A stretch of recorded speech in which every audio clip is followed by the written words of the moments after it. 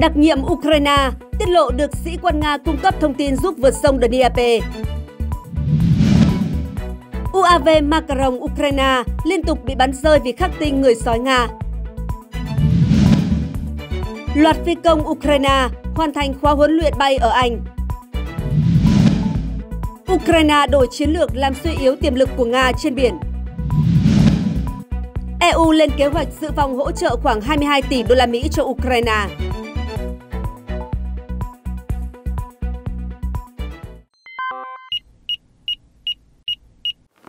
Xin kính chào và cảm ơn quý vị đang theo dõi toàn cảnh thế giới trên kênh của chúng tôi. Vừa rồi là những nội dung chính sẽ có trong chương trình. Bây giờ là nội dung chi tiết. Thưa quý vị, mới đây cả Nga và Ukraine cho biết lực lượng Ukraine đã thiết lập sự hiện diện ở bờ đông sông Dnieper, để lùi binh sĩ Nga ra khỏi khu vực cách bờ sông từ 3 đến 8 km. Như vậy, gần nửa năm sau cuộc phản công chậm chạp diễn ra từ tháng 6 năm 2023, việc băng qua con sông rộng lớn bằng những chiếc xuồng cao tốc nhỏ được coi là một thành công lớn đối với Kiev.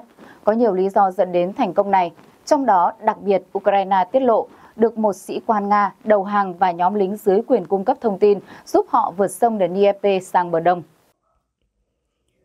Trung tâm Chiến dịch đặc biệt Hải quân số 73 của Ukraine được giao nhiệm vụ vượt sông Dnieper để chiếm vùng bàn đạp bên bờ đông, nơi lực lượng Nga đang kiểm soát. Các đặc nhiệm Ukraine thuộc Trung tâm 73 đã tập kết dọc theo bờ Tây sông từ tháng 5 và chuẩn bị vượt sông, song buộc phải rút lui khi đập ca khúc ca vỡ ngày 6 tháng 6 và nước trong hồ chứa nhấn chìm nhiều khu vực hạ lưu. Theo binh sĩ Ukraine có biệt danh Skiff, thuộc một đơn vị của Trung tâm 73, Nga tái triển khai lực lượng ven bờ đông sông Dnieper vào tháng 7 sau khi nước rút. Khi đơn vị của Skip tìm cách chiếm một cù lao gần làng Krinky, pháo binh Nga lập tức chút hỏa lực vào vị trí của nhóm lính Ukraine. Sau đó, một sĩ quan Nga đã tiếp cận tình báo Ukraine, chấp nhận đầu hàng cùng 11 lính dưới quyền với lý do phản đối chiến dịch của Moscow.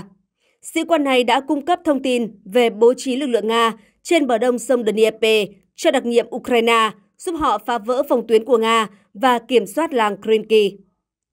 Để tiến hành một cuộc tấn công vào vùng lãnh thổ hiện do Nga kiểm soát, Ukraine sẽ phải thực hiện các cuộc tấn công đổ bộ qua sông Dnieper vì tất cả các tuyến đường chính đã bị phá hủy.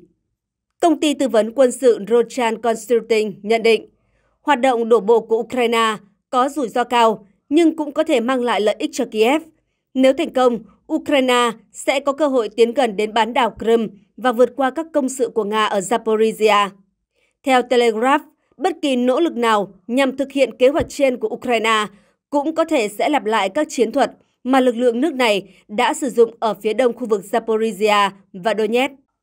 Các nhà phân tích phương Tây đánh giá Ukraine đang nỗ lực tiến về phía bờ Biển Đen nhằm xuyên thủng các tuyến phòng thủ của Nga và mở ra một tuyến đường mới hướng tới Crimea. Mới đây nhất, Ukraine đã nhận được hệ thống tên lửa tác chiến lục quân ATAC-MS do Mỹ cung cấp. Quân đội Ukraine đã sử dụng hệ thống này do Mỹ cung cấp để tấn công phá hủy 9 máy bay trực thăng của Nga ở miền đông Ukraine.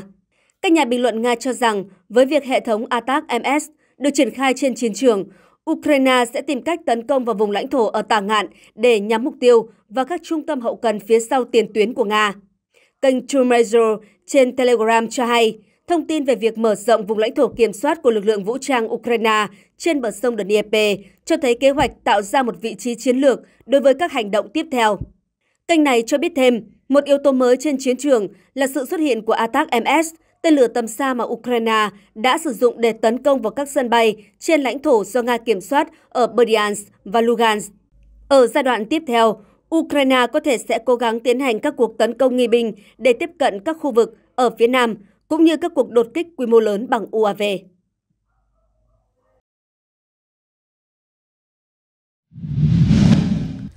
Truyền hình quân đội Nga vừa qua đã công bố video thu được từ máy bay không người lái UAV của Ukraine bị binh sĩ trung đoàn đổ bộ đường không cận vệ số 331 bắn rơi gần phòng tuyến tại Bakhmut. Đây là mẫu UAV 33 Yaga, thường được Ukraine dùng để thả thuốc nổ xuống vị trí của Nga. Nó đã ghi lại những giây hoạt động cuối cùng của chính mình trước khi kịp thả khối nổ.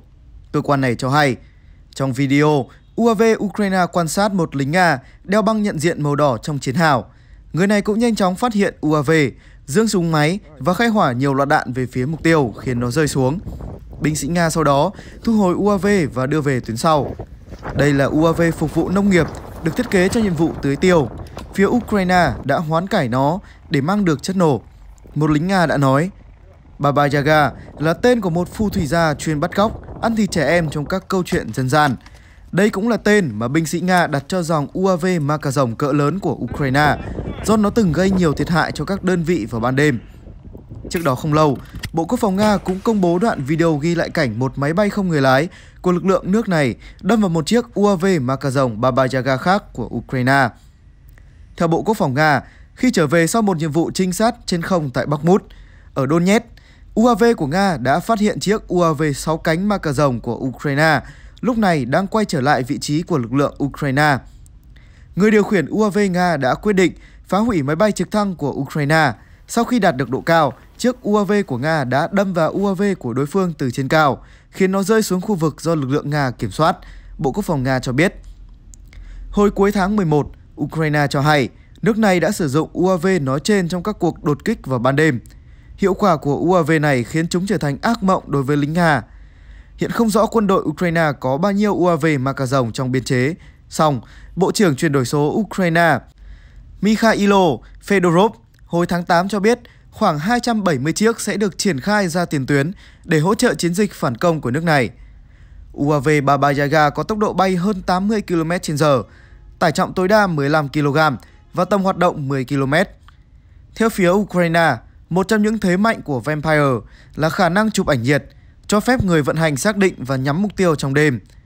Một số UAV khác cũng có khả năng chụp ảnh nhiệt, nhưng khả năng hoạt động cả ngày lẫn đêm và mang trọng tải lớn theo, khiến Vampire trở thành tài sản quý giá. UAV Baba Yaga do Ukraine sản xuất trong nước đã được sử dụng để thả khá nhiều loại đạn dược khác nhau vào các mục tiêu của Nga, đặc biệt là xe tăng. Chúng đã từng phá hủy một nhà kho của Nga gần Bakhmut vào tháng 8 và đã chứng tỏ được hiệu quả trong việc vượt mặt tác chiến điện tử của Nga. Mẫu UAV này cũng đóng vai trò quan trọng giúp lực lượng Ukraine vượt sông Dnieper và thiết lập đầu cầu ở bờ đông hồi giữa tháng 11. Theo Bộ Quốc phòng Anh, 6 phi công lái máy bay chiến đấu giàu kinh nghiệm của Ukraine đã hoàn thành khóa huấn luyện bay ở Anh và sẽ đến Đan Mạch để tiếp tục học cách vận hành chiến đấu cơ F-16. Nhóm này bắt đầu được học bay và học tiếng Anh từ lực lượng không quân Hoàng gia RAF vào tháng 8. Đây là một phần đóng góp của London cho Liên minh quốc tế nhằm cung cấp cho Ukraine máy bay thế hệ thứ tư do Mỹ sản xuất. Tuyên bố Bộ Quốc phòng Anh cho biết, trong thời gian ở Anh, lực lượng Ukraine chỉ bay với máy bay Grop Tuto vì không quân Anh không có F-16 trong biên chế. Các giảng viên người Anh đã hướng dẫn phi công Ukraine về quy trình xử lý chung, bay bằng thiết bị, điều hướng và bay theo đội hình phù hợp với tiêu chuẩn của NATO. Bộ Quốc phòng Anh cũng cho biết thêm, 10 phi công Ukraine sẽ tiếp tục được đào tạo tại Anh cùng với hàng chục kỹ thuật viên từ nước này. Bộ trưởng Quốc phòng Anh Grant Sapp nói rằng ông tự hào về sự nỗ lực mà lực lượng không quân Hoàng gia Anh khi hướng dẫn phi công chiến đấu Ukraine, những người sẽ là tuyến phòng thủ đầu tiên trong việc bảo vệ bầu trời Ukraine. Ông tuyên bố việc Kiev sử dụng F-16 với sự huấn luyện từ không quân Anh hàng đầu thế giới là một bước tiến đáng kể so với năng lực hiện tại của Ukraine. Trong khi đó, Bộ trưởng Quốc phòng Ukraine Rustem Umerov mô tả chương trình đào tạo do Anh cung cấp là có tính hiệu quả cao, trang bị cho các phi công Ukraine những kỹ năng cần thiết trong cuộc giao tranh chống Nga. Tuần trước, Hà Lan tuyên bố chuẩn bị chuyển giao máy bay chiến đấu F-16 đầu tiên cho Ukraine. Theo Thủ tướng Hà Lan Mark Rutte, lô hàng ban đầu sẽ bao gồm 18 máy bay. Tổng thống Ukraine Volodymyr Zelensky hồi tháng 8 tuyên bố Hà Lan và Bỉ cùng nhau cam kết cung cấp 42 máy bay phản lực cho Kiev. Tuy nhiên, tuyên bố chung của hai quốc gia Liên minh châu Âu EU không đề cập đến con số cụ thể.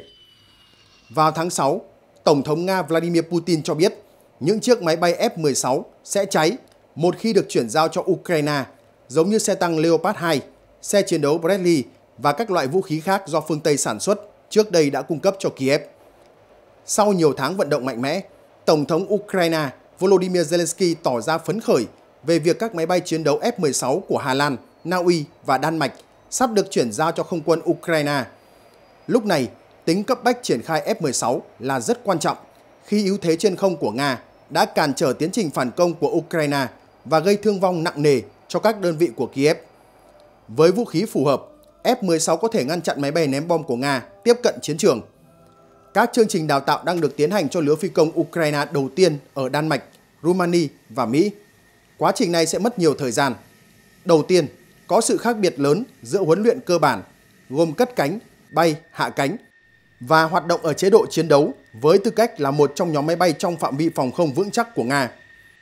Bộ trưởng Quốc phòng Ukraine Oleksiy Renikov đã nói rằng 6 đến 7 tháng là khoảng thời gian tối thiểu cần được tính đến một cách nghiêm túc. Nhưng ngay cả thời gian biểu đó cũng đầy tham vọng. Các phi công phương Tây tốt nghiệp lái các loại máy bay khác cần khoảng 9 tháng để đạt được trình độ thành thạo hoàn toàn. Và đó là chưa bao gồm việc huấn luyện cho các tình huống chiến đấu cụ thể. Ngoài ra, cách bố trí buồng lái của F-16 hoàn toàn khác so với MiG-29, loại máy bay phản lực thời Liên Xô, thường được các phi công Ukraine điều khiển. Thêm vào đó, phi công sẽ yêu cầu trình độ tiếng Anh ở mức tối thiểu cần thiết để điều khiển hai phi đội. Đặc biệt, họ có thêm nhiệm vụ là học cách vận hành các loại vũ khí của phương Tây như tên lửa không đối không tầm trung tiên tiến. Amram có khả năng phá hủy máy bay chiến đấu địch từ xa. Mặt tích cực là các phi công Ukraine đã thích nghi nhanh chóng với việc sử dụng tên lửa chống bức xạ tốc độ cao HAM của phương Tây trên những chiếc MiG-29 của họ. Theo chuyên gia Kansian, vấn đề là họ phải chuyển sang một loại máy bay có nhiều hệ thống mà họ chưa từng thấy trước đây, cộng với toàn bộ cách tiếp cận chiến tranh trên không mà Mỹ và NATO sử dụng, trong khi Liên Xô thì không. Ukraine tuyên bố đã đạt được thành công lớn vào ngày 26 tháng 12 khi tấn công một tàu chiến của Nga tại Crimea. Đây là một trong những cuộc tấn công nghiêm trọng nhất nhằm vào hạm đội Biển Đen của Nga trong nhiều tháng qua. Tuy vậy, trong chiến dịch trên bộ, Kiev phải thừa nhận rằng các lực lượng nước này buộc phải rút lui khỏi thành phố Marinka ở phía đông sau trận chiến kéo dài nhiều tháng. Hai diễn biến trái ngược này cho thấy chiến lược khác nhau của Nga và Ukraine trong cuộc xung đột gần như đã rơi vào bế tắc. Ukraine đang phải tăng cường tập trung vào khu vực Biển Đen và Crimea, buộc Nga phải giữ thế phòng thủ, còn Moscow thì đẩy mạnh tấn công trên chiến trường miền Đông sau khi ngăn chặn cuộc phản công của Ukraine. Một ngày sau khi Nga tuyên bố kiểm soát hoàn toàn thành phố Marinka, tướng Valery Zaludny, chỉ huy quân sự hàng đầu của Ukraine, đã so sánh các cuộc giao tranh ở khu vực này với cuộc giao tranh tại thành phố Bakhmut, nơi Nga giành quyền kiểm soát vào tháng 5 năm 2023. Giống như Bakhmut, Marinka chỉ có giá trị chiến lược hạn chế, trong khi toàn bộ thành phố đã bị đổ nát do các đợt không kích và pháo kích. Ông Zalutny cho biết, tình hình rất giống Bakhmut, từng con phố, từng tòa nhà và các binh lính của chúng tôi đang trở thành mục tiêu tấn công. Kết quả là chúng tôi buộc phải rút lui. Theo quan chức này, các lực lượng Ukraine đã rút về vùng ngoại ô thành phố và thiết lập một số vị trí ở phía sau, bởi nhận thấy rằng cái giá phải trả cho việc ở lại và tiếp tục chiến đấu là quá đắt. Ông Zalutny khẳng định, mỗi tấc đất của Ukraine đều quan trọng, nhưng đối với chúng tôi, mạng sống của các binh sĩ còn quan trọng hơn. Trận chiến giành Marinka cho thấy một đặc điểm nổi bật trong chiến dịch quân sự của Nga mà các nhà phân tích cho rằng có thể mang lại cho các lực lượng nước này lợi thế rất lớn. Đó là Nga sẵn sàng triển khai số lượng lớn binh sĩ và khí tài, tận dụng ưu thế vượt trội về binh lực và vật lực để đánh hạ đối phương. Đây cũng là cách tiếp cận mà Nga đã thực hiện tại thành phố Adivka, nơi họ tấn công quyết liệt trong nhiều tháng qua nhằm phá vỡ sự kháng cự của Ukraine. Cuộc tấn công của Nga diễn ra trong bối cảnh sự hỗ trợ của phương Tây dành cho Ukraine đang sụt giảm. Việc giành được Marinka có thể cho phép Nga chuyển hướng sang các thị trấn Kurakova, Vuleda và Pokerov ở gần đó, tiến gần hơn đến việc đạt mục tiêu là giành quyền kiểm soát toàn bộ khu vực Donbass. Tướng Zalutny cho biết quân đội Ukraine đã chuẩn bị tuyến phòng thủ bên ngoài Marinka nhằm ngăn chặn Moscow tiến xa hơn. Nếu như trong chiến dịch trên bộ, Ukraine đang mất đi lợi thế vì trong chiến dịch trên biển, Kiev tuyên bố đã đạt được những bước tiến đáng kể. Ngày 26 tháng 12, không quân Ukraine tuyên bố đã phá hủy tàu đổ bộ cỡ lớn Novochetka của Nga tại cảng Feodosia ở Crimea. Bộ Quốc phòng Nga thừa nhận con tàu đã bị hư hại trong cuộc tấn công bằng tên lửa, song không cho biết liệu con tàu có bị vô hiệu hóa vĩnh viễn hay không.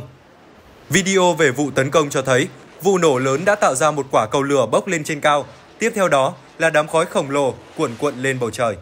Cuộc tấn công tàu Novochetka diễn ra sau khi quân đội Ukraine cho biết đã bắn hạ 5 máy bay chiến đấu của Nga trong 3 ngày vừa qua. Trong đó có cả máy bay ném bom. Theo giới phân tích, những cuộc tấn công này có thể gây ra tổn thất lớn đối với Nga và làm giảm áp lực đối với quân đội Ukraine đang chiến đấu tại một số điểm nóng nhất trên tiền tuyến.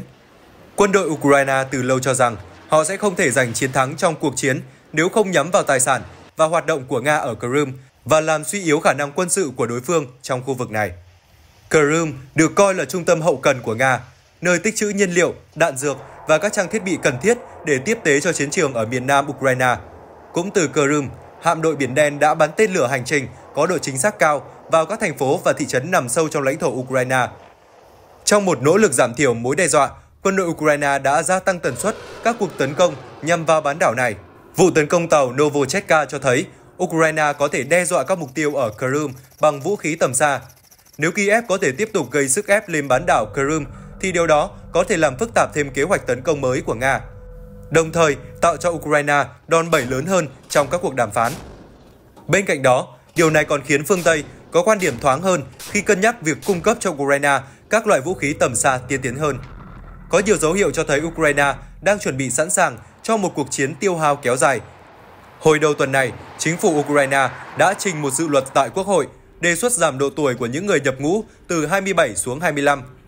Các quan chức quân sự Ukraine cho rằng việc huy động tới 500.000 binh sĩ là điều cần thiết, nhưng Tổng thống Zelensky nhấn mạnh kế hoạch vẫn còn phải được soạn thảo trước khi ông đưa ra quyết định chính thức.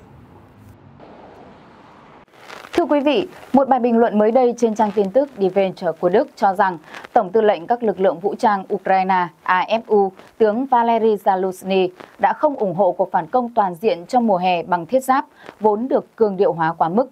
Nhưng năm 2024 có thể khá khác so với hiện tại. Một bài bình luận mới đây trên trang tin tức Đài Hoài của Đức cho rằng Tổng tư lệnh các lực lượng vũ trang Ukraine AFU, tướng Valery Zaluzny đã không ủng hộ cuộc phản công toàn diện trong mùa hè bằng thiết giáp, vốn được cường điệu hóa quá mức. Nhưng năm 2024 có thể khá khác so với hiện tại. Trang truyền thông trên lưu ý tướng Zaluzny bị các chính trị gia ép buộc phải thực hiện chiến thuật đó, chủ yếu là từ các quốc gia phương Tây muốn thu hồi vốn ngay lập tức từ khoản đầu tư vào vũ khí và đạn dược mà họ đã cung cấp. Nicolange, cựu tham mưu trưởng quân đội Đức và hiện là thành viên cấp cao tại hội nghị an ninh Munich, xác nhận quan điểm đó. Tổng tư lệnh Ukraine không bao giờ ủng hộ việc phát động cuộc tấn công như vậy, vì ông ấy không thấy một cơ hội thành công nếu không có sự yểm trợ đầy đủ từ trên không và chỉ đồng ý vì lý do chính trị. Sự thận trọng của tướng Zalukny là có cơ sở khi một số cuộc tấn công đầu tiên tập trung vào thiết giáp đã bị tổn thất khi cố gắng vượt qua hàng phòng thủ được chuẩn bị kỹ lưỡng, nhiều lớp cát của lực lượng Nga.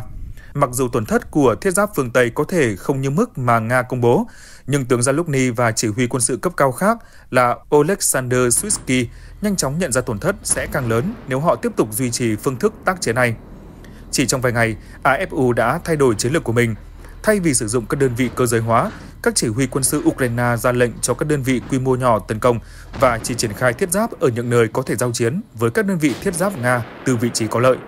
Điều này cho phép AFU giảm thiểu tổn thất về nhân lực và trang thiết bị, đồng thời cho phép Ukraine và các đối tác phương Tây của họ có thêm thời gian để huấn luyện và củng cố nguồn cung cấp vũ khí.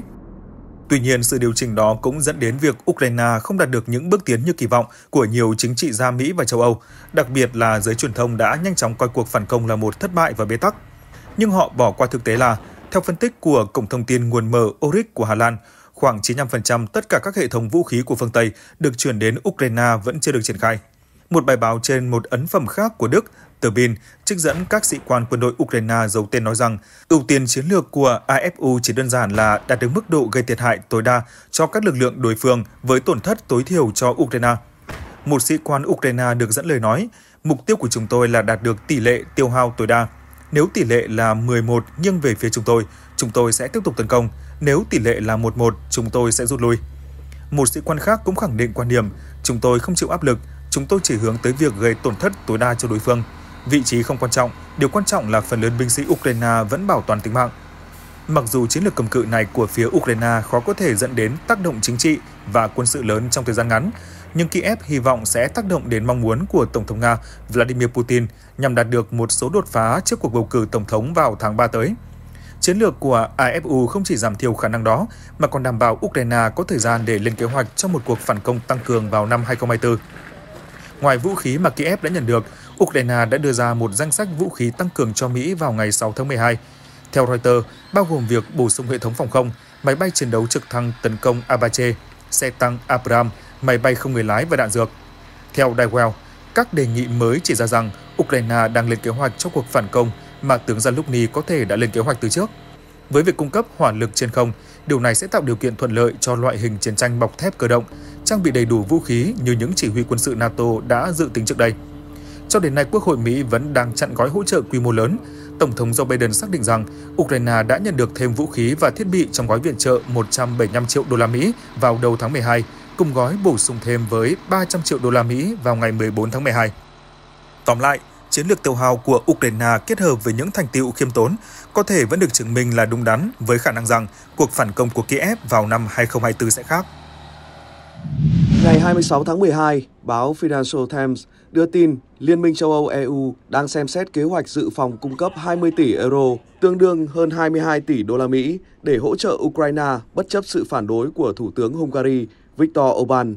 Trước đó, tại hội nghị thượng đỉnh EU ở Bruxelles, Bỉ, các nhà lãnh đạo EU đã không đạt được đồng thuận về đề xuất của Ủy ban châu Âu EC cấp cho Ukraine khoản hỗ trợ lên tới 50 tỷ euro dưới dạng các khoản vay nhằm duy trì bộ máy nhà nước của quốc gia này. Đề xuất này nằm trong kế hoạch đánh giá rộng hơn về ngân sách dài hạn của châu Âu và phải được tất cả 27 thành viên EU nhất trí. Tuy nhiên, Thủ tướng Hungary Viktor Orbán đã phản đối đề xuất trên. Các quan chức EU sau đó đã nỗ lực tìm kiếm các giải pháp thay thế để giúp cho Kiev vượt qua được cuộc khủng hoảng tài chính đang cận kề. Theo một số quan chức tham gia đàm phán, các nước EU đang xem xét kế hoạch dự phòng được mô tả là giải pháp thiết thực nhất để cung cấp hỗ trợ cho Ukraine nếu Thủ tướng Orbán vẫn tiếp tục phản đối vấn đề này tại hội nghị thượng đỉnh EU tiếp theo, dự kiến sẽ diễn ra vào ngày 1 tháng 2 năm 2024. Theo kế hoạch này, các quốc gia thành viên tham gia sẽ cung cấp sự bảo lãnh cho ngân sách EU, qua đó cho phép EC vay tới 20 tỷ euro trên thị trường vốn để cung cấp cho Kiev vào năm tới. Các điều khoản chính xác vẫn đang được thỏa thuận và số tiền cuối cùng sẽ được ấn định theo nhu cầu của Ukraine. Kế hoạch này tương tự như cơ cấu được sử dụng vào năm 2020 khi EC cung cấp tới 100 tỷ euro cho các nước EU để triển khai các chương trình hỗ trợ công tác ngắn hạn trong đại dịch COVID-19. Điều quan trọng là giải pháp này sẽ không bắt buộc có sự bảo lãnh từ tất cả 27 quốc gia thành viên EU, miễn là những nước tham gia chính là các quốc gia có mức xếp hạng tín dụng hàng đầu. Điều này sẽ cho phép EU bỏ qua sự phản đối của Hungary vì điều này không đòi hỏi sự ủng hộ của tất cả các nước thành viên. Một số quốc gia, trong đó có Đức và Hà Lan, sẽ cần sự chấp thuận của quốc hội các nước này đối với các khoản bảo lãnh quốc gia, một quá trình mà các quan chức hy vọng có thể kịp hoàn tất để cung cấp viện trợ cho Ukraine vào tháng 3 năm 2024. Tuy nhiên, một nhược điểm của kế hoạch này khi so sánh với đề xuất ban đầu dựa trên ngân sách của EU là sẽ bị giới hạn ở các khoản vay và không bao gồm các khoản trợ cấp. Các quốc gia thành viên vẫn có thể quyết định cung cấp các khoản tài trợ song phương. Kể từ khi xung đột Nga-Ukraine bùng phát vào hồi tháng 2 năm 2022, các nước phương Tây đã hỗ trợ cho quốc gia Đông Âu này. Mới đây, ba quốc gia gồm Litva, Thụy Điển và Canada lên kế hoạch thành lập một nhóm lợi ích chung vì Ukraine trong khuôn khổ diễn đàn vận tải quốc tế để hỗ trợ phục hồi ngành vận tải và phát triển các tuyến logistics của Ukraine. Trong khi đó, Ukraine đã và đang phụ thuộc rất nhiều vào hỗ trợ kinh tế từ phương Tây liên quan đến cuộc xung đột với Nga, nhưng phải đối mặt với sự không chắc chắn về nguồn vốn sẽ đến từ đầu năm 2024. Ukraine đã nhận được hơn 68,5 tỷ đô la Mỹ hỗ trợ ngân sách kể từ khi xung đột với Nga nổ ra vào tháng 2 năm 2022, theo dữ liệu của Bộ Tài chính Ukraine. Kiev chi toàn bộ doanh thu cho lĩnh vực quốc phòng và quân đội, trong khi chi phí chung của khu vực công phần lớn được chi trả bởi viện trợ từ phương Tây. Năm tới, chính phủ Ukraine sẽ lại cần bơm hỗ trợ tài chính để xử lý các khoản thanh toán xã hội, tiền lương cho nhân viên nhà nước và lương hưu cho hàng triệu người Ukraine. Chính phủ Ukraine dự kiến thâm hụt ngân sách khoảng 43 tỷ đô la Mỹ vào năm 2024 và có kế hoạch trang trải khoản thâm hụt này bằng khoản vay trong nước và viện trợ tài chính từ các đối tác phương Tây. Các quan chức của Bộ Tài chính Ukraine gần đây cho biết họ dự kiến sẽ nhận được 41 tỷ đô la Mỹ viện trợ quốc tế vào năm tới nhưng chính phủ Ukraine và các nhà phân tích đang lo lắng trước những dấu hiệu không chắc chắn về việc cung cấp nguồn tài chính đó. Một số nhà phân tích dự đoán viện trợ của phương Tây có thể sẽ bắt đầu giảm vào năm tới. Nga bắt đầu tập trung không kích cơ sở hạ tầng của Ukraine khi mùa đông đến, lặp lại chiến lược vào cùng thời điểm này năm ngoái nhằm phá hoại nguồn cung cấp năng lượng quý giá. Đồng thời, Ukraine cũng bố trí một lưới phòng không nhiều lớp, kết hợp giữa các hệ thống từ thời Liên Xô với thiết bị công nghệ cao của phương Tây, cùng các nhóm tình nguyện viên chuyên theo dõi máy bay không người lái UAV của Nga và báo động cho quân đội. Tuần qua, Nga đã phóng hàng loạt tên lửa và UAV tấn công các khu dân cư ở một số thành phố lớn nhất của Ukraine.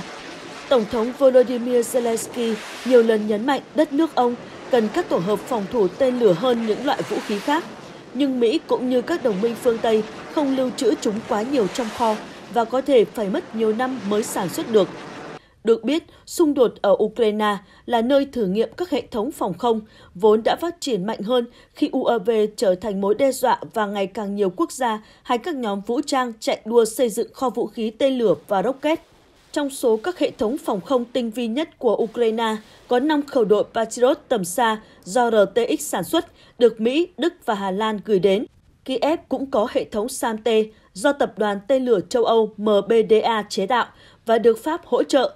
Cả hai hệ thống của phương Tây đều có khả năng bắn trúng mục tiêu ở khoảng cách gần 100 km. Phòng không có vai trò tối quan trọng đối với Kiev, chúng giúp chặn các cuộc tấn công bằng tên lửa và UAV, đồng thời ngăn lực lượng không quân Nga kiểm soát bầu trời Ukraine, khiến họ không thể tấn công các mục tiêu như ý muốn. Mùa đông năm ngoái, Nga đã phóng khoảng 1.000 tên lửa và 1.000 UAV vào các thành phố và cơ sở hạ tầng Ukraine. Theo phát ngôn viên không quân Yuri Inat, Ukraine đã bắn rơi 70 đến 75% số này. Hôm 22 tháng 12, không quân Ukraine cho biết ba tiêm kích bom Su-34 Nga đã bị bắn rơi ở miền nam nước này, đánh dấu thành công lớn nhất của Kiev trong cuộc đối đầu trên không với Moscow kể từ khi xung đột bùng phát. Trước đó, theo Bộ Quốc phòng Nga, nước này đã tập kích vào nhiều trận địa tên lửa phòng không của Ukraine ở vùng Khmelnytsky. Sputnik dẫn thông báo của Bộ Quốc phòng Nga nêu rõ lực lượng vũ trang Nga tham gia hoạt động quân sự đã phá hủy một số hệ thống tên lửa đất đối không tiên tiến NASAM-S Na Uy và một hệ thống phòng không tầm ngắn Krotter-NG của Pháp đang được Ukraine sử dụng. Theo Sputnik, đây là lần đầu tiên Bộ Quốc phòng Nga thông tin về việc phá hủy hệ thống Krotter-NG trong chiến đấu và là bằng chứng nữa cho thấy thiết bị tối tân của NATO không phải là bất khả xâm phạm. Kể từ đầu xung đột, Pháp đã cung cấp cho Ukraine hai khẩu đội phòng không Krotter-NG. Quân đội Nga được cho là đã có một cuộc tấn công phối hợp có sự tham gia của không quân, lực lượng tên lửa, pháo binh và cả máy bay không người lái UAV trong cuộc tập kích vào Staro Konstantinov. Bên cạnh việc vô hiệu hóa các hệ thống phòng không, cuộc tấn công còn gây thiệt hại cho thiết bị máy bay, hệ thống dẫn đường bay và các kho đạn của Ukraine ở Katanovo, vùng Kirovograd và Dnieper, vùng Dnipropetrovsk. Tổng tư lệnh các lực lượng vũ trang Ukraine, ông Valery Zaluzny, xác nhận quân đội nước này đã rút khỏi thành phố Marinka, một vị trí quan trọng ở phía tây Donetsk. Ông Zaluzny còn so sánh cuộc giao tranh ác liệt tại Marinka trong những tháng gần đây với việc Ukraine để mất Bakhmut vào đầu năm nay rằng việc này hoàn toàn giống như những gì xảy ra ở Bakhmut. Từng con phố, từng khu nhà và binh lính của chúng ta đang trở thành mục tiêu và kết quả là như vậy. Thành phố Marinka không còn tồn tại. Ở bên kia chiến tuyến, Bộ trưởng Quốc phòng Nga Sergei Shoigu cũng đã nói với Tổng thống Putin rằng quân đội đã kiểm soát hoàn toàn Marinka. Theo ông Shoigu, trong hơn 9 năm qua, Ukraine đã biến thành phố cách Donetsk 5 km này thành một pháo đài vững chắc với những lối đi ngầm và nó đã bị bẻ gãy nhờ các hành động quyết đoán của quân nhân Nga. Ông Putin nói, tôi xin chúc mừng các bạn, đây là một thành công. Hãy chuyển những lời biết ơn tới tất cả các thành viên và binh sĩ đã tham gia vào các thời điểm và giai đoạn khác nhau của chiến dịch. Ông cũng yêu cầu Bộ trưởng Quốc phòng trao huân chương và thăng cấp cho những người lính xuất sắc trong chiến dịch. Tại cuộc họp báo ở Điện Kremlin, Tổng thống Nga bày tỏ sự tin tưởng rằng việc kiểm soát khu định cư sẽ cho phép lực lượng Nga đẩy lùi các vị trí của Ukraine ra xa hơn khỏi Donetsk. Ông Shoigu đồng tình, nói rằng việc giành được Marinka cũng sẽ giúp bảo vệ thành phố Donetsk khỏi hỏa lực của Ukraine một cách hiệu quả hơn. Bộ trưởng Quốc phòng cho biết, binh sĩ thuộc Sư đoàn Súng trường Cơ giới số 150 đã xuất sắc trong việc đánh chiếm khu định cư. Trong Thế chiến thứ hai, Sư đoàn 150 đã chiếm được tòa nhà quốc hội ở Berlin. Ông nói, việc giải phóng khu định cư này đương nhiên làm giảm khả năng phòng thủ của lực lượng vũ trang Ukraine và mang lại cho chúng ta thêm cơ hội để thực hiện các hành động tiếp theo. Tuy nhiên, quân đội Ukraine đã bác bỏ tuyên bố của Nga về việc chiếm giữ Marinka trong bối cảnh Kiev đang đối mặt nhiều khó khăn. Ukraine đã rất chật vật để có thể đạt được lợi ích trên chiến trường trong những tháng gần đây, trong khi nguồn hỗ trợ của phương Tây suy giảm, đặc biệt là nguồn tài trợ quan trọng của Mỹ. Không đúng sự thật khi nói về việc chiếm giữ được Marinka. Người phát ngôn quân đội Ukraine Oleksandr Stupun nói với đài truyền hình quốc gia nước này. Ông Stupun khẳng định lực lượng của chúng tôi đang ở trong thị trấn. Marinka lần đầu tiên bị lực lượng đòi độc lập ở Donbass chiếm giữ vào tháng 4 năm 2014 sau khi chính phủ Ukraine được thành lập trong cuộc đảo chính tháng 2 năm đó, phát động chiến dịch chống khủng bố, chống lại họ. Những đống đổ nát và các tòa nhà chung cư chống không ở Marinka có thể được nhìn thấy trong các hình ảnh từ máy bay không người lái chiếu trên truyền hình Nga, từng là nơi sinh sống của 10.000 người. Thành công lớn gần đây của Nga chiếm được Bakhmut đã thúc đẩy Ukraine tiến hành một cuộc phản công vào tháng 6. Tuy nhiên, lực lượng của Kiev đạt được rất ít tiến bộ trước sự kháng cự rắn chắc và phòng thủ kiên cố của Nga. Quân đội Nga đã tăng cường các cuộc tấn công trên bộ và trên không vào thị trấn Adivka gần đó kể từ giữa tháng 10 khi họ tập trung vào việc mở rộng cuộc tấn công chậm qua khu vực Donbass, phía đông Ukraine. Tờ Ivestia của Nga vừa qua đăng tải video phỏng vấn binh sĩ nước này tại tiền tuyến ở mặt trận Donetsk, đề cập việc sử dụng vũ khí thu được từ lực lượng Ukraine, bao gồm cả khí tài phương Tây. Một binh sĩ mang mật danh Naum đánh giá cao súng trường Ford 301 do Kiev sản xuất, thêm rằng vũ khí này đã giúp ích cho lực lượng Nga trên chiến trường. Một binh sĩ khác trình diễn cách sử dụng súng chống tăng Javelin và AT-4 lần lượt do Mỹ và Thụy Điển chuyển giao cho Ukraine. Người này nói, đây là các vũ khí chiến lợi phẩm của chúng tôi. Quân đội Nga đã thu được lượng lớn khí tài từ lực lượng Ukraine từ khi xung đột bùng phát. Trong khuôn khổ triển lãm kỹ thuật quân sự Army 2023 tổ chức hồi tháng 8, Bộ Quốc phòng Nga đã trưng bày gần 900 vũ khí dạng này, trong đó có nhiều loại do phương Tây sản xuất như xe thiết giáp bánh lốp AMX-10RC của Pháp, xe chiến đấu bộ binh VC-90 của Thụy Điển, lựu pháo M777 và thiết giáp đa dụng Humvee của Mỹ, cùng nhiều loại vũ khí bộ binh.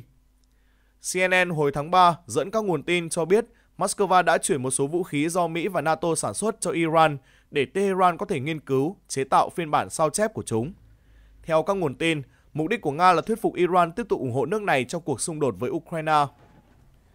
Sau những cuộc giao tranh ác liệt trong xung đột Nga-Ukraine, cả hai bên đều đang bổ sung và thay thế những phương tiện, vũ khí đã thiệt hại trên chiến trường và cố gắng bảo vệ những phương tiện còn hoạt động. Khi cuộc phản công của Ukraine không tạo được bước đột phá, nguồn viện trợ vũ khí từ phương Tây cho Kiev dường như cũng giảm dần. Trong khi đó, Nga mất hàng trăm xe tăng trên chiến trường trong các cuộc tấn công ở phía đông.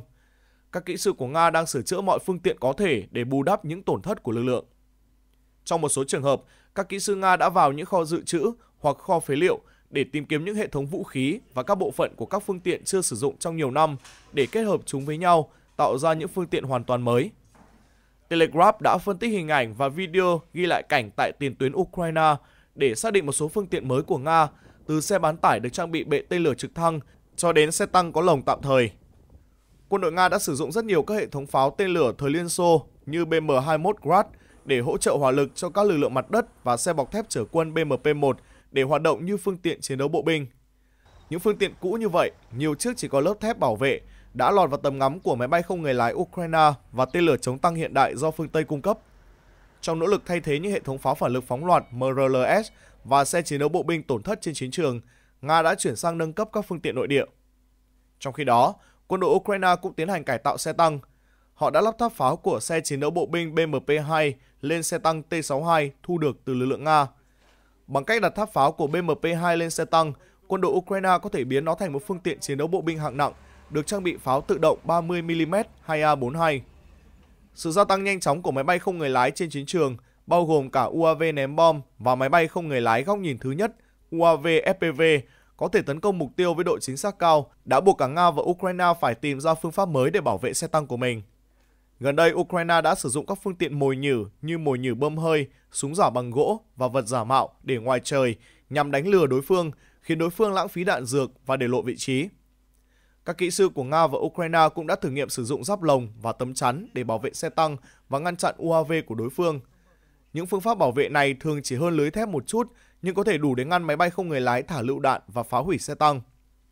Trên chiến trường Ukraine, những chiếc lồng bảo vệ là các lớp bảo vệ bằng sắt, thép và kim loại được bố trí trên đỉnh tháp pháo của xe tăng nhằm bảo vệ xe tăng trước các cuộc tấn công bằng tên lửa chống tăng có điều khiển. quân đội Ukraine cũng lắp đặt lớp giáp bảo vệ bổ sung cho những xe tăng chiến đấu tiên tiến nhất do phương Tây cung cấp để ứng phó với mối đe dọa từ UAV Nga. Theo đài Sputnik của Nga ngày 24 tháng 12, về mặt lịch sử và đặc biệt là kể từ khi NATO bắt đầu mở rộng về phía đông vào cuối những năm 1990, Mỹ đã lên kế hoạch di chuyển các cơ sở quân sự của mình càng gần biên giới Nga càng tốt, cùng với thái độ không coi trọng bất kỳ mối lo ngại an ninh nào của Moscow. Mới nhất, Mỹ và Phần Lan đã ký một thỏa thuận cho phép Washington triển khai thêm quân gần biên giới Nga vào ngày 18 tháng 12. Hiệp ước mới cho phép Mỹ duy trì sự hiện diện quân sự ở Phần Lan và cho phép Mỹ tiếp cận khoảng 15 căn cứ quân sự của quốc gia Bắc Âu này. Động thái trên diễn ra ngay sau khi Phần Lan trở thành thành viên mới nhất của Liên minh quân sự NATO do Mỹ đứng đầu, diễn ra trong bối cảnh Washington dường như muốn đảm bảo rằng các quốc gia thành viên NATO giáp biên giới Nga gây ra nhiều mối đe dọa nhất có thể cho Moscow. Chỉ vài ngày trước khi ký hiệp ước với Phần Lan, Mỹ đã ký một thỏa thuận hợp tác quốc phòng mới với Estonia, một quốc gia vùng Baltic nhỏ bé nằm ở biên giới phía tây của Nga và là thành viên của NATO từ năm 2004.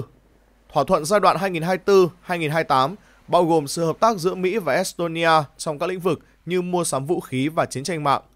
Thứ trưởng Quốc phòng Estonia Tully Dunnerton cho biết, trọng tâm của thỏa thuận cũng là sự hiện diện của quân đội Mỹ tại quốc gia Baltic này. Điều đó khác xa với thỏa thuận hợp tác quốc phòng đầu tiên mà Mỹ ký với Estonia trong thời gian gần đây, cũng như ký kết các thỏa thuận tương tự với hai quốc gia vùng Baltic khác là Latvia và Litva. Đầu năm nay, Bộ Quốc phòng Mỹ đã công bố một thỏa thuận an ninh mới với Litva, nhấn mạnh cam kết hỗ trợ các yêu cầu chuyển giao ưu tiên để mua sắm các nguồn lực quốc phòng quan trọng. Trong khi đó, Latvia đã ký một thỏa thuận trị giá 105 triệu đô la Mỹ để mua hệ thống phòng thủ tên lửa ven biển của Hải quân Mỹ, trong đó Washington cung cấp 70% chi phí vũ khí. Những tên lửa chống hạm này có tầm bắn khoảng 200 km và với việc Nga hiện gần như là quốc gia duy nhất không thuộc NATO có sự hiện diện ở biển Baltic, rất dễ hiểu những vũ khí này sẽ nhắm vào ai. Vào tháng 8 vừa qua, Mỹ cũng phê duyệt việc bán gần 100 máy bay trực thăng tấn công AH-64 Apache cho Ba Lan, một thành viên NATO khác có chung đường biên giới với cả đồng minh của Nga là Belarus và vùng Kaliningrad của Nga.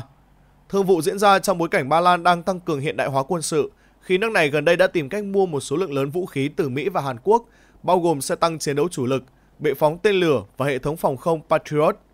Trước đó, người phát ngôn điện Kremlin Dmitry Peskov cho biết Moscow đã vô cùng tiếc khi cảm nhận được mối đe dọa từ phía Phần Lan sau khi quốc gia này dự định ký một thỏa thuận quốc phòng với Mỹ, cho phép quân Mỹ hiện diện trên lãnh thổ. Ông Peskov bình luận, điều đó chắc chắn sẽ dẫn đến tình trạng căng thẳng gia tăng giữa Nga và Phần Lan. Chúng tôi rất lấy làm tiếc về hành động này vì chúng tôi từng có mối quan hệ tuyệt vời với Phần Lan. Cả hai chúng tôi đều không đe dọa đối phương, không có vấn đề gì và không có yêu sách nào chống lại nhau vì chúng tôi không xâm phạm lợi ích của nhau mà thể hiện sự tôn trọng lẫn nhau.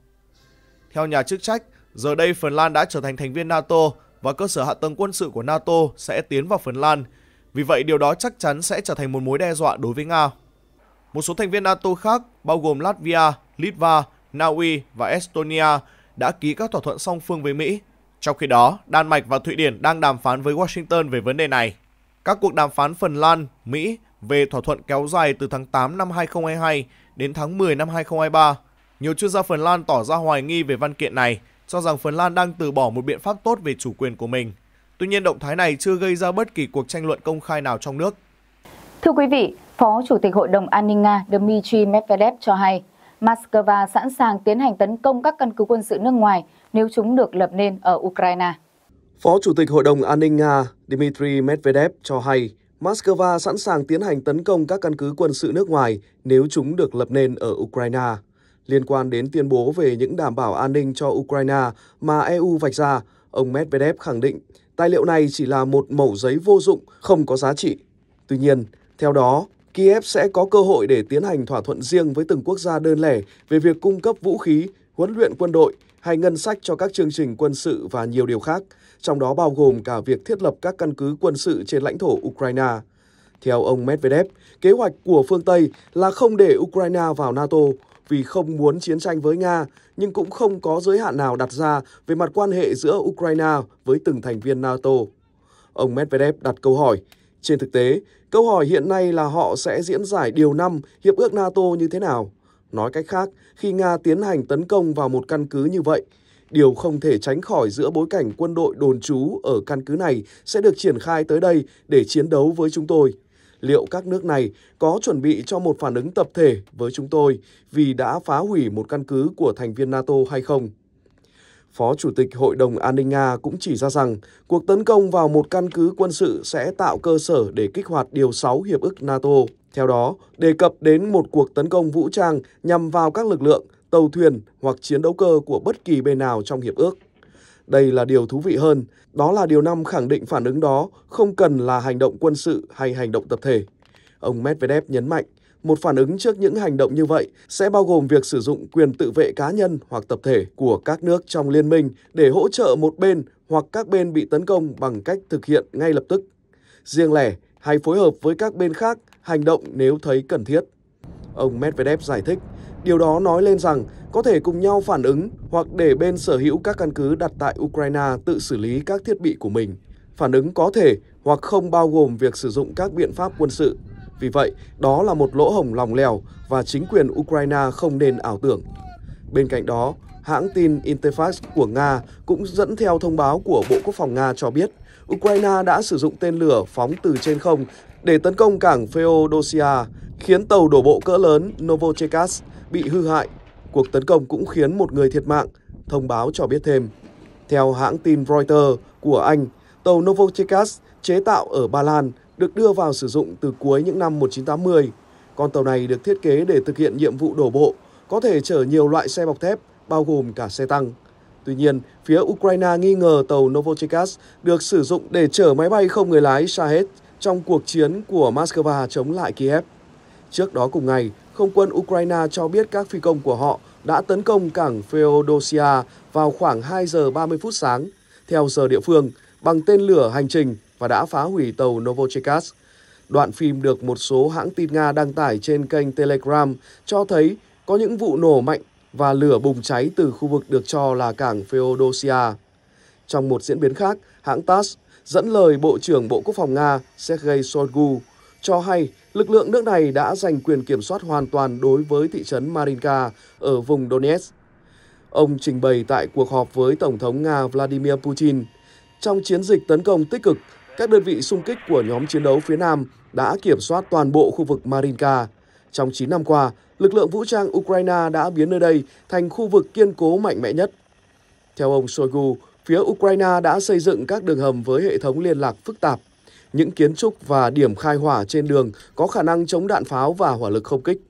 Ông cho biết có hơn 3.000 ngôi nhà ở Marinka thì mỗi ngôi nhà là một cứ điểm kiên cố. Tổng thống Nga Putin khen ngợi việc kiểm soát thị trấn, cảm ơn các binh sĩ và cho rằng đây là một thành công đáng kể. Trước đó, nhà lãnh đạo nói rằng tiến triển tại đây sẽ giúp lực lượng Nga có bước đệm cho những hành động tiếp theo trong khu vực. Trong khi đó, Reuters dẫn lời phát ngôn viên quân đội Ukraine Oleksandr Stupun bác bỏ tuyên bố của Nga về việc kiểm soát khu vực trung tâm Marinka. Việc phía Nga nói kiểm soát Marinka là không đúng, lực lượng của chúng ta vẫn ở trong thành phố, ông phát biểu trên đài truyền hình quốc gia. Theo hãng thông tấn TASS, phát biểu ngày 26 tháng 12, Bộ trưởng Bộ Quốc phòng Nga Sergei Shoigu cho biết các lực lượng Nga đã chặn cuộc phản công của Ukraine và đang tiến lên trên mọi mặt trận. Trong năm 2023, Ukraine đặt trọng tâm vào cuộc phản công mùa xuân với mục tiêu tái chiếm những khu vực bị Nga kiểm soát trước đó. Ukraine đã chuẩn bị kỹ lưỡng cho chiến dịch này, nhưng cuộc phản công bị cho đã diễn ra chậm hơn dự kiến. Phương Tây cũng thừa nhận Kiev không giành được nhiều thành tiệu đột phá. Trong cuộc họp đường dài với các chỉ huy cấp cao Nga, Bộ trưởng Shoigu lưu ý cuộc phản công của Ukraine được phía Ukraine và các đồng minh trong Tổ chức Hiệp ước Bắc Đại Tây Dương NATO thổi phồng và mục tiêu chính của Nga trong năm 2023 là ngăn chặn cuộc phản công ấy. Nhiệm vụ này đã được thực hiện thành công. Theo Bộ trưởng Shoigu, các yếu tố chính cho phép quân đội Nga đẩy lùi các nỗ lực tiến quân của Ukraine là việc tạo ra một hệ thống tuyến phòng thủ hiệu quả, khả năng chiến đấu cao của tất cả các đơn vị, độ tin cậy và hiệu quả của thiết bị quân sự Nga. Ông Shoigu nói thêm, và trên hết là những hành động khéo léo và quyết đoán của những người lính Tổ quốc, những người đang hành động quên mình để đảm bảo sự an toàn cho đất nước và người dân của chúng ta. Nói về những sự kiện gần đây trên thực địa, ông Shoigu cho biết quân đội Nga liên tục chiếm giữ các vị trí thuận lợi và mở rộng vùng kiểm soát theo mọi hướng trên chiến tuyến. Tổng thống Ukraine Volodymyr Zelensky hồi cuối tháng 11 đã thừa nhận chiến dịch phản công không thành công và quân đội nước này sẽ chuyển từ tấn công sang phòng thủ. Tổng thống Nga Vladimir Putin và Bộ trưởng Quốc phòng Shoigu đều cho biết lực lượng Nga đã giành lại thế chủ động trong cuộc xung đột. Ngày 25 tháng 12, Bộ Quốc phòng xác nhận đã chiếm được toàn bộ Marinka, một thành trì quan trọng của Ukraine ở vùng Donetsk. Ở một diễn biến khác, một bài bình luận mới đây trên trang tin tức Daren của Đức cho rằng Tổng tư lệnh các lực lượng vũ trang Ukraine, tướng Valery Zaluzhny đã không ủng hộ cuộc phản công toàn diện trong mùa hè bằng thiết giáp, vốn được cường điệu hóa quá mức, nhưng năm 2024 có thể khác so với hiện tại. Trang truyền thông trên lưu ý, tướng Zaluzny bị các chính trị gia ép buộc phải thực hiện chiến thuật đó, chủ yếu là từ các quốc gia phương Tây muốn thu hồi vốn ngay lập tức khoản đầu tư vào vũ khí và đạn dược mà họ đã cung cấp. Nicolang, cựu tham mưu trưởng quân đội Đức và hiện là thành viên cấp cao tại Hội nghị An ninh Munich xác nhận quan điểm đó. Tổng tư lệnh Ukraine không bao giờ ủng hộ việc phát động cuộc tấn công như vậy vì ông ấy không thấy một cơ hội thành công nếu không có sự yểm trợ đầy đủ từ trên không và chỉ đồng ý vì lý do chính trị. Sự thận trọng của tướng Zaluzny là có cơ sở khi một số cuộc tấn công đầu tiên tập trung vào thiết giáp đã bị tổn thất khi cố gắng vượt qua hàng phòng thủ được chuẩn bị kỹ lưỡng, nhiều lớp của các lực lượng Nga. Mặc dù tổn thất của thiết giáp phương Tây có thể không như mức mà phía Nga công bố, nhưng tướng Zaluzny và chỉ huy quân sự cấp cao khác là Alexander Sisky nhanh chóng nhận ra rằng tổn thất sẽ càng lớn nếu họ tiếp tục duy trì phương thức tác chiến này. Chỉ trong vài ngày, AFU đã thay đổi chiến lược của mình. Thay vì sử dụng các đơn vị cơ giới hóa, các chỉ huy quân sự Ukraine ra lệnh cho các đơn vị quy mô nhỏ tấn công và chỉ triển khai thiết giáp ở những nơi có thể giao chiến với các đơn vị thiết giáp Nga từ vị trí có lợi. Điều này cho phép AFU giảm thiểu tổn thất về nhân lực và trang thiết bị, đồng thời cho phép Ukraine và các đối tác phương Tây của họ có thêm thời gian để huấn luyện và củng cố nguồn cung cấp vũ khí. Tuy nhiên, sự điều chỉnh đó cũng dẫn đến việc Ukraine không đạt được những bước tiến như kỳ vọng của nhiều chính trị gia Mỹ và châu Âu, đặc biệt là giới truyền thông đã nhanh chóng coi cuộc phản công là một thất bại và bế tắc. Nhưng họ bỏ qua thực tế là, theo phân tích của Cổng Thông tin nguồn mở Oris của Hà Lan, khoảng 95% tất cả các hệ thống vũ khí của phương Tây được chuyển đến Ukraine vẫn chưa được triển khai. Một bài báo trên một ấn phẩm khác của Đức, tờ Bill trích dẫn các sĩ quan quân đội Ukraine giấu tên nói rằng ưu tiên chiến lược của AFU chỉ đơn giản là đạt được mức độ gây thiệt hại tối đa cho các lực lượng đối phương với tổn thất tối thiểu cho Ukraine. Một sĩ quan Ukraine được dẫn lời nói, mục tiêu của chúng tôi là đạt được tỷ lệ tiêu hao tối đa. Nếu tỷ lệ là 10 trên 1 nghiêng về phía chúng tôi, chúng tôi sẽ tiếp tục tấn công. Nếu tỷ lệ là 1 trên 1, chúng tôi sẽ rút lui. Mặc dù chiến lược cầm cự này của phía Ukraine khó có thể dẫn đến tác động chính trị và quân sự lớn trong thời gian ngắn, nhưng Kiev hy vọng sẽ tác động đến mong muốn của Tổng thống Nga Vladimir Putin nhằm đạt được một số đột phá trước cuộc bầu cử tổng thống vào tháng 3 tới. Ngày 26 tháng 12, Tổng tư lệnh các lực lượng vũ trang Ukraine Valery Zaluzhny cho biết ông không hài lòng với các văn phòng tuyển quân chịu trách nhiệm huy động quân cho cuộc xung đột với Nga. Ông Zalutny đưa ra phát biểu trên tại cuộc họp báo đầu tiên của ông kể từ khi Nga tiến hành kế hoạch quân sự tại Ukraine. Hãng tin Reuters mô tả đây là một cuộc họp báo hiếm hoi. Theo Reuters, một ngày Quốc hội Ukraine đã công bố một dự luật đề cập đến việc cải cách chương trình tuyển quân, gồm cả hạ thấp tuổi huy động nam giới tham gia chiến đấu từ 27 xuống còn 25 tuổi. Dự luật này đã gây tranh cãi trên mạng xã hội và dường như nó đã khiến một vị tướng ít khi xuất hiện trước công chúng phải nói chuyện với giới truyền thông. Tuần trước, Tổng thống Ukraine cho biết quân đội đề xuất huy động thêm 450.000 đến 500.000 người gia nhập quân đội. Ông Zalutny đã xác nhận con số trên, nhưng nói với báo giới rằng ông sẽ không công khai bàn về những số liệu như vậy. Trong khi đó, ông Roman Kostenko, thư ký Ủy ban Quốc hội về Quốc phòng, An ninh Quốc gia và Tình báo Ukraine cho biết, quân đội Ukraine cần 500.000 lính nghĩa vụ mới để bù đắp thương vong và nhu cầu sau khi lập các đơn vị mới trong 12 tháng tới. Nhà lập pháp này cũng nhấn mạnh những người Ukraine đủ điều kiện sẽ phải tham gia đợt huy động này. Việc huy động thêm 450.000 đến 500.000 quân đã được nêu ra. Ông Roman Kostenko nói, nhấn mạnh quân đội Ukraine phải lên kế hoạch trước nhiều năm vì cuộc xung đột có thể kéo dài. Thư ký Ủy ban Quốc hội về Quốc phòng, An ninh Quốc gia và Tình báo Ukraine nói chính phủ Ukraine nên truyền tải thông điệp đến người dân rằng mọi người phải bảo vệ Tổ quốc, không ai được trốn tránh, thay vì hứa hẹn về một chiến thắng nhanh chóng trước Nga trên chiến trường. Theo dự thảo luật mà chính phủ Ukraine vừa đệ trình lên Quốc hội, nước này cần huy động thêm 500.000 công dân gia nhập quân đội. Dự thảo luật trình bày chi tiết các trường hợp công dân Ukraine sẽ phải đăng ký nghĩa vụ quân sự và cho biết việc này sẽ áp dụng cho những người đã đến 25 tuổi. Hiện chưa rõ Ukraine có bao nhiêu binh sĩ, nhưng trước đó từng có thông tin nước này có khoảng 1 triệu người trong quân đội. Quan chức Mỹ ước tính hàng trăm nghìn người đã thiệt mạng và bị thương kể từ khi Nga mở kế hoạch quân sự tại Ukraine. Đầu tháng này, Bộ trưởng Quốc phòng Nga Sergei Shoigu ước tính Kiev đã mất hơn 383.000 binh sĩ, cả thiệt mạng và bị thương, kể từ khi bắt đầu chiến sự vào tháng 2 năm 2022. Hiện tại, Bộ Quốc phòng Ukraine đang triệu tập tất cả những người Ukraine trong độ tuổi nhập ngũ đến các văn phòng tuyển dụng để kiểm tra giấy tờ của họ và sau đó cung cấp cho họ thông tin nghĩa vụ quân sự. Dự luật trên được đệ trình lên Quốc hội trong bối cảnh cuộc giao tranh giữa Nga và Ukraine đã kéo dài 22 tháng và chưa có dấu hiệu dừng lại. Tiếp tục với những thông tin đáng chú ý khác. Thưa quý vị, mới đây chính phủ Israel đã tuyên bố sẽ không tự động cấp thị thực visa cho các nhân viên Liên Hợp Quốc sau khi cáo buộc vài người trong số họ đồng lõa với phong trào Hồi giáo Hamas. Alan Levy, phát ngôn viên chính phủ Israel công bố quyết định trên hôm 26 tháng 12, đồng thời lên án các quan chức Liên Hợp Quốc vì đổ lỗi cho Israel và che đậy cho Hamas trong cuộc xung đột mới đây ở giải Gaza. Đài RT dẫn lời ông Levy cho biết thêm, thay vì tự động cấp visa cho các nhân viên Liên Hợp Quốc, Tel Aviv sẽ cân nhắc từng trường hợp một.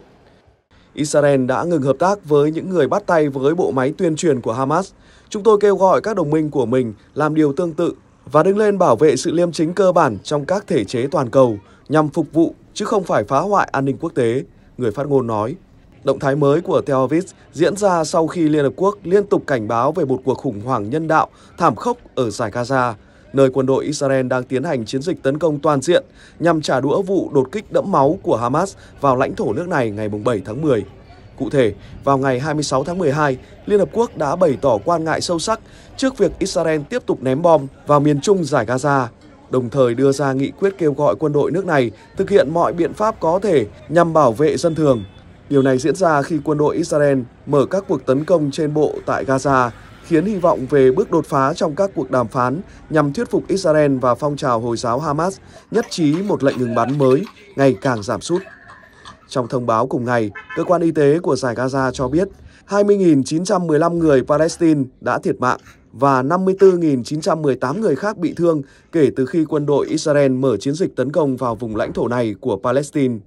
Nghị quyết cũng kêu gọi các bên tuân thủ các nghĩa vụ luật pháp quốc tế, trong đó có luật nhân đạo quốc tế, tăng cường cung cấp viện trợ nhân đạo khẩn cấp, an toàn và không bị cản trở một cách trực tiếp cho dân thường Palestine ở giải Gaza, trả tự do cho các con tin ngay lập tức và vô điều kiện nhanh chóng thiết lập một cơ chế của Liên Hợp Quốc để đẩy nhanh các chuyến hàng viện trợ nhân đạo đến Gaza thông qua các quốc gia không tham gia vào cuộc xung đột, đồng thời đảm bảo rằng hàng viện trợ đến được với người dân ở khu vực này. Với diễn biến trên, theo kênh Al Jazeera, ngày 27 tháng 12, Chủ tịch Cuba Miguel Díaz-Canel viết trong bài đăng rằng Israel đã gây ra nạn diệt chủng và đặt câu hỏi Israel có thể hành động như vậy trong bao lâu mà không phải chịu hậu quả. Ông Miguel Díaz-Canel cũng khẳng định Cuba, nước sẽ không tham gia, nằm trong số những người thờ ơ, sẽ mãi lên tiếng ủng hộ Palestine. Về phần mình, Thủ tướng Israel Benjamin Netanyahu cho biết lực lượng Israel sẽ không giảm cường độ chiến đấu. Ông cho biết quân đội đang tăng cường hoạt động ở miền nam Gaza và lực lượng không quân đã tấn công 100 mục tiêu chỉ trong một ngày. Thưa quý vị, các chỉ huy quân đội đã cảnh báo ngay từ đầu cuộc xung đột sẽ kéo dài và khó khăn. Và lúc này họ đang đối mặt với những chỉ trích của các bộ trưởng, áp lực từ công chúng Israel và phản ứng trên toàn cầu. 80 ngày sau khi Israel khởi động cuộc xung đột loại bỏ Hamas, những cảnh báo mà giới chỉ huy quân sự Israel đưa ra ngay từ đầu rằng đây sẽ là một chiến dịch khó khăn và kéo dài dần trở thành hiện thực. Lực lượng phòng vệ Israel IDF nỗ lực cắt rời các lực lượng quân sự của Hamas, làm suy yếu đáng kể nhóm chiến binh ở phía bắc Gaza phá hủy nhiều km đường hầm và mở rộng các hoạt động trên bộ ở cả trung tâm Gaza và Khan Yunis, thành trì của Hamas ở phía nam. Nhưng Hamas về cơ bản vẫn còn nguyên vẹn ở phía nam giải Gaza, chưa có chỉ huy nổi bật nhất nào của tổ chức này bị loại bỏ và thủ lĩnh Yahya Sinwar của Hamas vẫn tự tin rằng ông và lực lượng khổng lồ mà ông lãnh đạo cuối cùng sẽ có thể cầm chân được quân đội Israel và tiếp tục hoạt động. Về phần mình, các chỉ huy quân sự của Israel nói rằng thách thức ở những thành trì của Hamas như Khan Yunis đặt ra đòi hỏi có một cách tiếp cận quân sự khác. Trong khi đó, công chúng Israel đang rơi vào tâm trạng lo lắng. Những tổn thất ngày càng tăng của binh sĩ IDF, gồm cả các binh sĩ ở độ tuổi thanh niên trong lực lượng thường trực, cũng như những thành viên dự bị lớn tuổi phải rời khỏi cuộc sống gia đình của họ và không bao giờ quay trở lại, đang gây ra những nỗi đau đớn hàng ngày với tinh thần của cả quốc gia. Một số người Israel tin rằng IDF sẽ càn quét tương đối xuân sẻ qua Gaza, nơi Hamas đã chuẩn bị phòng thủ trong một thập kỷ rưỡi. Nhưng hầu hết, người dân Israel đã dự đoán số binh sĩ thiệt mạng của IDF sẽ còn tăng cao hơn.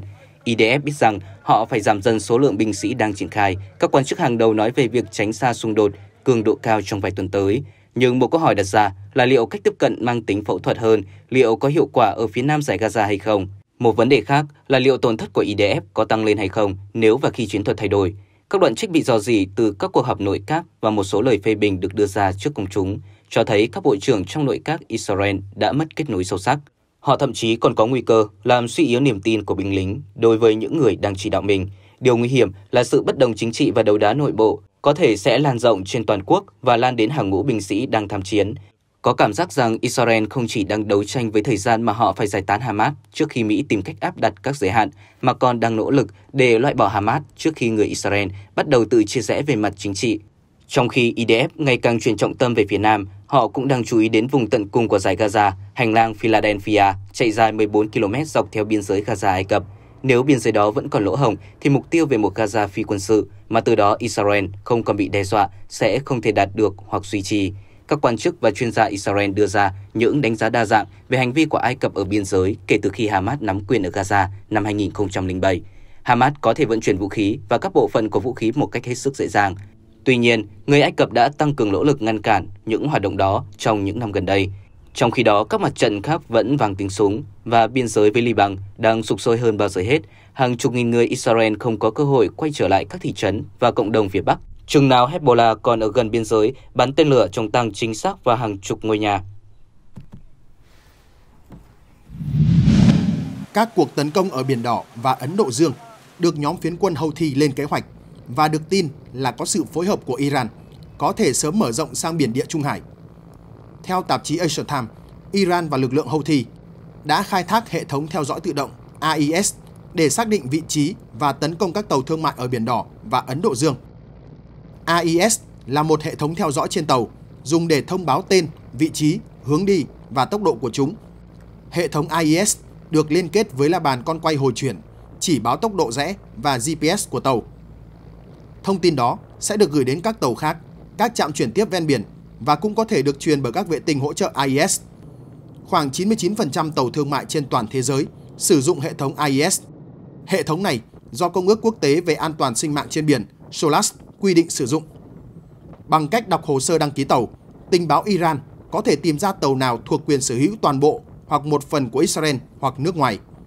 Sau đó, họ gắn thẻ tàu để có thể theo dõi tấn công khi chúng đi vào tầm bắn của máy bay không người lái hoặc tên lửa. Trong khi đó, tàu quân sự Mỹ cũng có hệ thống AIS nhưng không phải lúc nào cũng bật. Bộ Tư lệnh Trung ương Mỹ tin rằng lực lượng Houthi được Iran hỗ trợ trong việc định vị tàu chiến Mỹ ở Biển Đỏ. Iran đã bố trí một tàu gián điệp MV Savis giả dạng tàu dân sự. Theo nguồn tin từ chính phủ Mỹ, MV Savis được trang bị máy vòm, radar cao cấp và ba tàu cao tốc để nắm thông tin liên lạc từ tàu chiến Mỹ. Iran đã tuyên bố có thể mở rộng mối đe dọa tới eo biển Gibraltar và biển địa Trung Hải. Hơn nữa, một liên minh gồm hơn 20 quốc gia do Mỹ dẫn đầu khó có thể ngăn chặn lực lượng Houthi ở Yemen tấn công các tàu ở Biển Đỏ. Tuy nhiên, theo kênh Al Jazeera, cả liên minh này lẫn Houthi đều muốn tránh vượt khỏi tầm kiểm soát. Các quan chức Houthi cho biết họ tấn công các tàu thương mại và quân sự có liên quan tới Israel nhằm mục đích gây áp lực buộc Israel chấm dứt chiến tranh ở giải Gaza. Các cuộc tấn công của Houthi đã làm cho nhóm này được biết tới nhiều hơn ở Yemen, giúp chiêu mộ các tay súng mới. Ông Grigory Bru, một nhà phân tích tại Euroasia Group nhận định Houthi sẽ không dừng những gì họ đang làm cho đến khi cuộc tấn công của Israel ở Gaza kết thúc và thậm chí sau đó họ có thể sẽ tiếp tục trong một thời gian nữa. Trong khi đó, Iran, nước hậu thuẫn chính cho lực lượng Houthi, vẫn thận trọng với các bước đi có thể dẫn đến mở rộng cuộc xung đột ở Gaza sang khu vực rộng hơn. Tuy nhiên, các chuyên gia cho rằng Iran cũng có ảnh hưởng hạn chế với Houthi. Ông Eleonora Ademani, nhà nghiên cứu cấp cao tại Viện Nghiên cứu Chính trị Quốc tế Italia, ISPI, nói với Al Jazeera, họ có một số mục tiêu chung với Iran, nhưng chúng ta không nên đánh giá quá cao sức ảnh hưởng mà Iran có đối với Houthi. Hai bên có kế hoạch riêng. Tác động đối với hoạt động vận tải biển toàn cầu đi qua Bab al-Mandeb và Biển Đỏ đã thu hút hành động của Mỹ và các đồng minh khác. Nhưng cho đến nay, điều đó dường như không ngăn cản được Houthi. Vừa qua, người phát ngôn của Houthi, ông Mohammed Abdul Salam cho biết, chúng tôi đã nhấn mạnh với mọi người rằng các hoạt động của Houthi là nhằm hỗ trợ người dân Palestine ở giải Gaza và chúng tôi không thể đứng yên. Hiện tại, liên minh của Mỹ chủ yếu thiên về bảo vệ các tàu đi qua Biển Đỏ bằng cách ngăn chặn các cuộc tấn công của Houthi. Tình trạng hiện nay nếu thay đổi sẽ không có lợi cho Houthi. Mỹ đang coi Houthi là lực lượng có thể chấp nhận được để cai trị miền Bắc Yemen. Nếu Mỹ thay đổi, họ có thể muốn lật đổ nhóm này ở Yemen. Đây chính là kịch bản mà Houthi không mong muốn. Thưa quý vị, những thông tin vừa rồi đã khép lại chương trình Toàn cảnh Thế giới trên kênh của chúng tôi ngày hôm nay. Cảm ơn quý vị đã quan tâm theo dõi. Xin kính chào và hẹn gặp lại.